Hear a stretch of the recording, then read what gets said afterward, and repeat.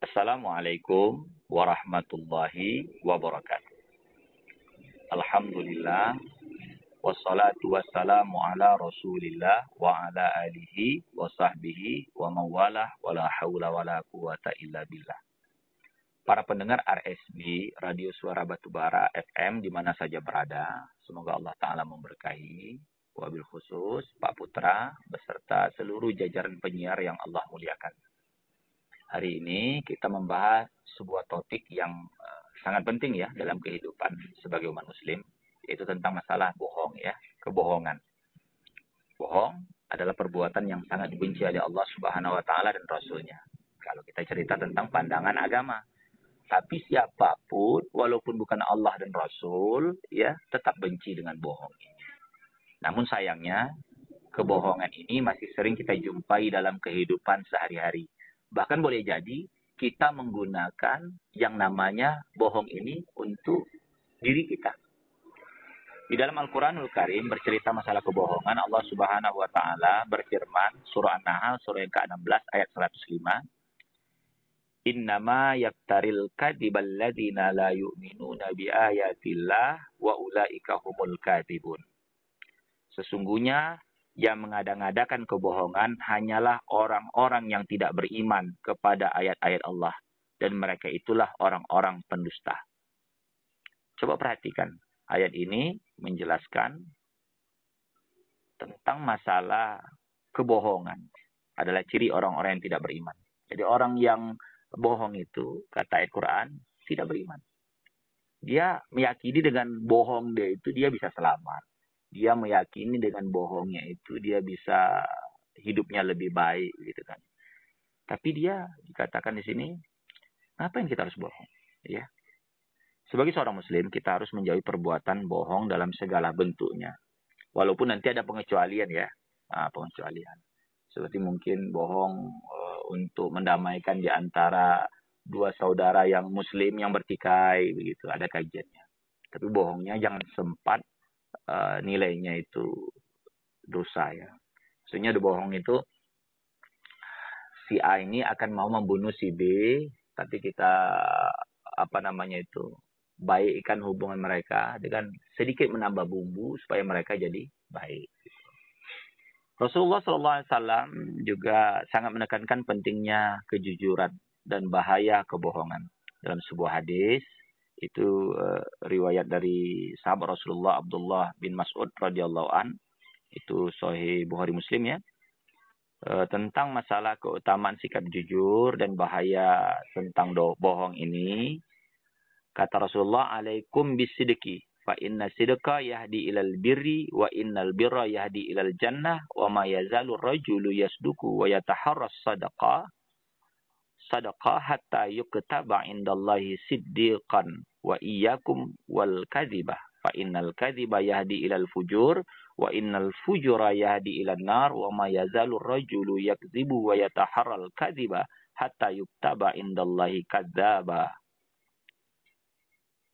jadi dikatakan di sini hendaklah kalian senantiasa berlaku jujur karena sesungguhnya kejujuran akan mengantarkan pada kebaikan. Dan sesungguhnya kebaikan akan mengantarkan kepada surga. Jika seseorang senantiasa berlaku jujur dan berusaha untuk jujur, maka dia akan dicatat di sisi Allah sebagai orang yang jujur. Hati-hatilah kalian dari berkata bohong ya, berbuat dusta ya. Karena sesungguhnya dusta itu atau bohong itu akan mengantarkan kepada kejahatan. Dan kejahatan akan mengantarkan pada neraka. Jika seseorang sukanya berbohong dan berupaya untuk berbohong, maka ia akan dicatat di sisi Allah sebagai seorang pembohong atau pendusta. Karena kebohongan ini itu akan meminta kebohongan selanjutnya, kebohongan, kebohongan, kebohongan. Jadi menimpali terus. Hadis ini menunjukkan bahwasanya kejujuran akan membawa kita kepada kebaikan dan surga. Sementara kebohongan akan menjerumuskan kita ke dalam kejahatan dan neraka. Lalu mengapa orang berbohong? Itu ada kita tanyakan di dalam diri kita.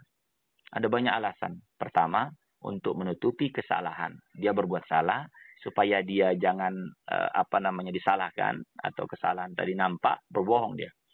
Yang kedua, ada orang berbohong untuk mendapatkan keuntungan. Jadi uh, dia bohong supaya dapat hasil gitu. kalau seandainya dia tidak bohong, nanti berkurang keuntungan dia.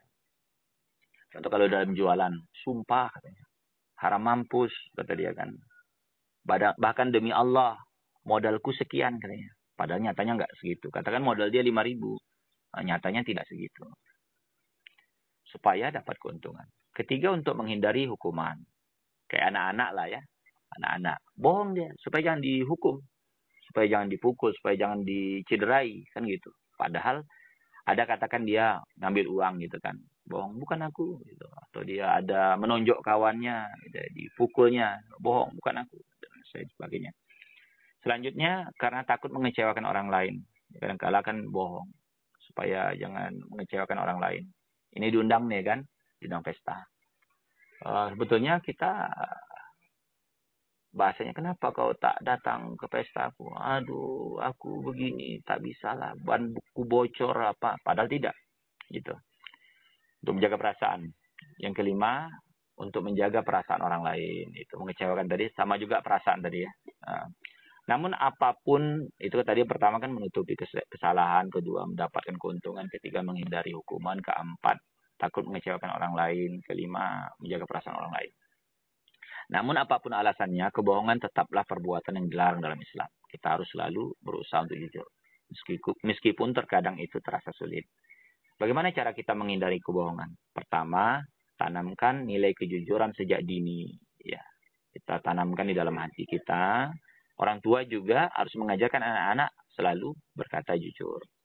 Yang kedua, biasakan diri untuk selalu berkata benar meskipun dalam hal kecil.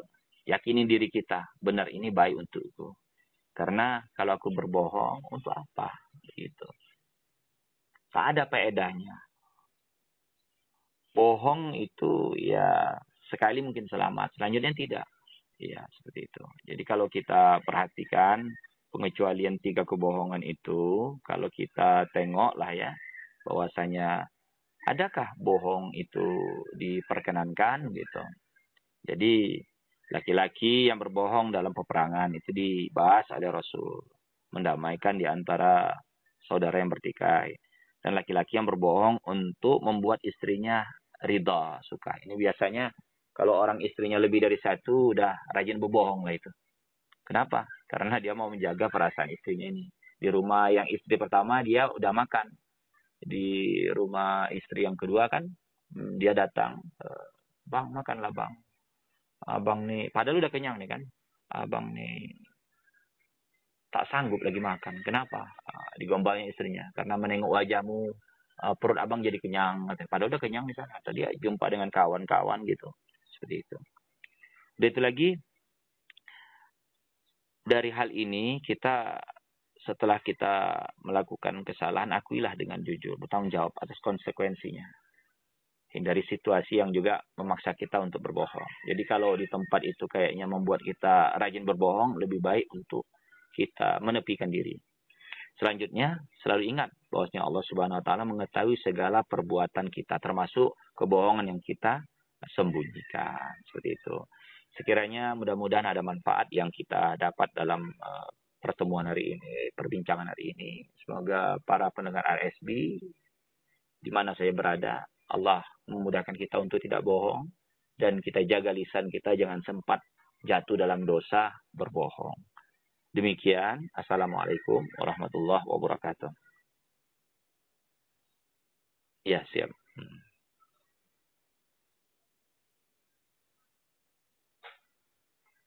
Ya, silakan. Hmm, berarti ini per, penanya rahasia ya, CR. Mungkin Ratna, entah siapa-siapa lah gitu. Robi. Iya. Iya, yang tiga tadi lah. Hmm.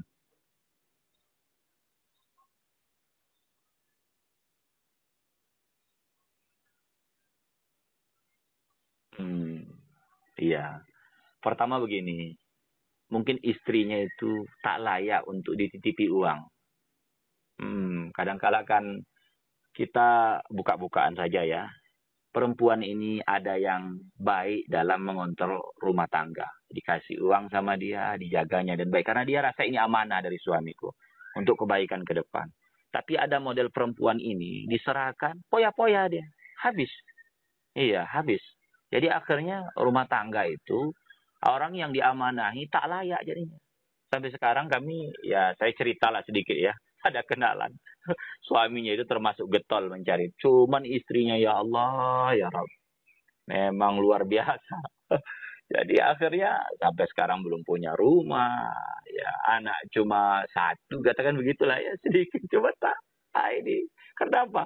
Karena ke uh, tidak layakan tadi. Jadi tidak semua perempuan itu, makanya suaminya tengok mentalitas istrinya patut tidak dititipi kan begitu.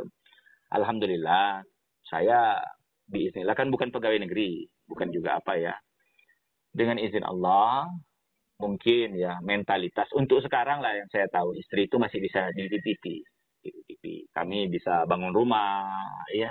Walaupun anak ya sudah SMA baru punya rumah secara mandiri lah. Dulu punya rumah juga cuma tanahnya tanya tanah orang tua sekarang dalam tiga tahunan ini ya di Padang Genting ini ya tanah sendiri rumah sendiri alhamdulillah utang tidak ada yang kedua pula, di Isnilah tahun 2017 saya mendaftar haji. Ini karena istri itu nyimpan. Kami tempo hari, waktu masih kecil-kecil anak lah ya. Kalau udah besar ini agak sulit juga ya. Waktu kecil itu nyimpan emas. Jadi emas itu dibeli yang London. Uh, jadi nilai jualnya dia sesuai dengan masa. Jadi tahun 2014 kami, 2014 apa 2013, saya lupa gitu. Mungkin 2014. Tahun 2017 kami jual total tempo hari kan 30 juta itu. Setelah dijual menjadi 33 juta 250. Kalau tak salah tambahnya 3 juta 250 lah. Uh, padahal bertahap itu setahun beli dan sebagainya. Jadi maksudnya kalau istri itu layak untuk dititipi, berarti Aaron tadi si Robi lah cocoknya karena dia cerita istri kan. Jadi kalau memang istri itu layak untuk dititipi, apa salahnya? Karena di sinilah kita juga mau terbuka, mau menanamkan kepercayaan. Rumah tangga kan uh, berpikirnya dua kepala untuk mencapai satu tujuan. Uh, jadi kalau ada rasa ketidakpercayaan, kayaknya kurang nyaman, kan gitu. Tapi kembali, kalau memang istri ini tidak pandai pengaturan, ya tahan saja. Atau memang istri, istri ngomong gini, udahlah simpan aja lah. Aku takut tak bisa mengontrol diri. Tahulah kalau megang duit kan, nanti nampak baju-baju, baju baru ya kan, semua mau dibeli. Oh, oh. apatah lagi istrinya pandai belajar online, teruslah tiap hari paket, paket, paket, pening terus. Iya, kembali kepada pengaturan. Jadi kalau bohong di situ, nanti kan berpuas bisa kebaikan rumah tangga juga. Ini mungkin seperti berbohong pada istri untuk membuatnya saat akan ridho, gitu ya. Uh, alam. Iya. Lanjut, lanjut. Oh, luar biasa.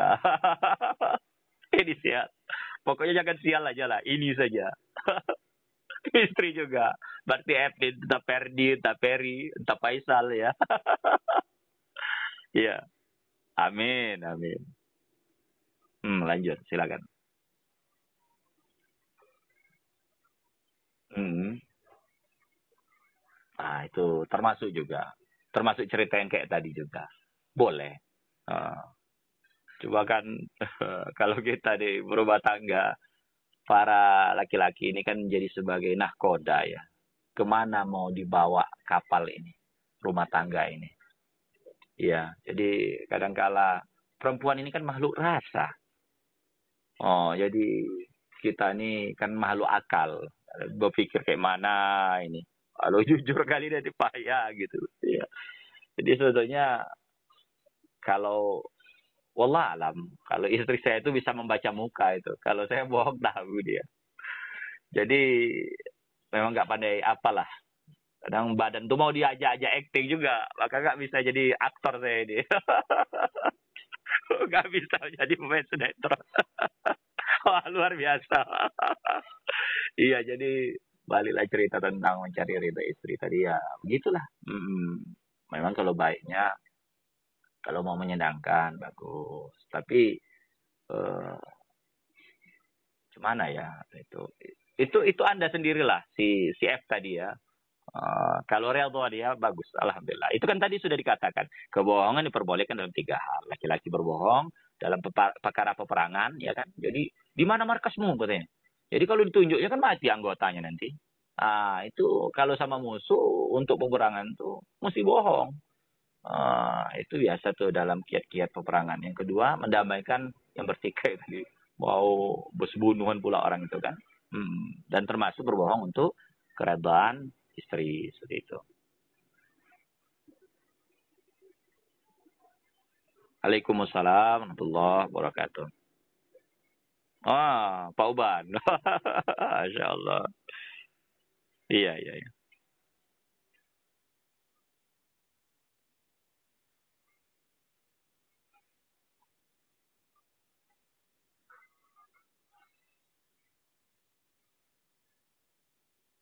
Hmm. Hmm. Haram, riba, dosa ya, bukan riba ya. Lebih kepada gurur, tipu daya. Kalau memang satu benda itu dua harga. Iya, ibaratnya ini aku jual sama kau ini kereta ya. Ini kereta yang ini nih, ku pegang nih, katanya. Atau handphone ya, atau apalah benda. Kalau kau beli ini harga kontannya sekian. Kalau harga angsurnya beda tuh ya.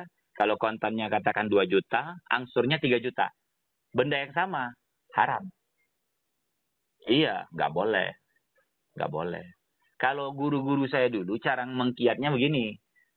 Dua benda yang sama, tapi diletakkan harga yang berbeda. Itu boleh. Katakan contohnya dia HP-nya Realme lah, atau entah apalah ya, Nokia atau Samsung, 2 juta.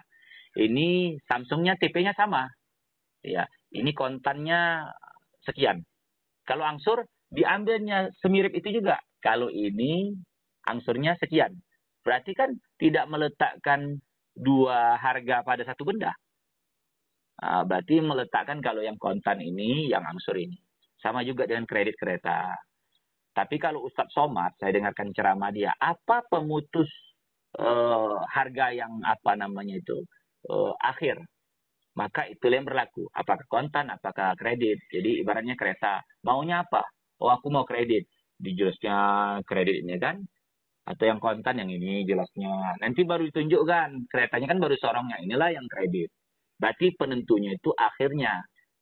Hmm, agak berbeda yang saya pahami dengan guru-guru saya dulu. Jadi kalau dia harus betul-betul dihadirkan dua benda untuk menjelaskan harga yang berbeda. Tapi kalau satu benda itu dihargai dua kontannya lain, uh, kreditnya lain, maka haram. Saya dulu ceritakan seperti itu. Allah. Oh iya. Oh iya, siap siap siap. Oh iya. iya. Para pendengar setia RSB di mana saja berada, kalau kita pahamkan tentang Nabi Muhammad sebagai teladan kejujuran ya, maka sebelum Nabi dijadikan Nabi juga dikenal dengan Al-Amin, orang yang terpercaya, orang yang dapat dipercaya. Belajarlah kita mencontoh beliau, menjadi orang yang jujur, supaya kita nanti dikumpulkan bersama Rasulullah SAW di surga. Karena kejujuran, kebohongan tidak baik. Semoga Allah membimbing kita untuk menjadi orang yang jujur, dapat dipercaya, dan bisa kita eh, tinggalkan kebohongan-kebohongan yang tidak ada makna untuk kita. Subhanakallahumma rabbana wa bihamdik. Asyhadu an la ilaha illa anta astaghfiruka wa atubu ilaik. Assalamualaikum warahmatullahi wabarakatuh.